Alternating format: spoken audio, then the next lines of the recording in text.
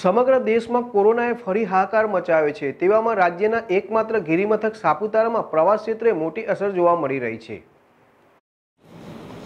કોરોનાની બીજી લહેરમાં સાપુતારાનો ધંધો રોજગાર હવે ઠપ થવાના આરે હોય તેવું દેખાઈ રહ્યું છે.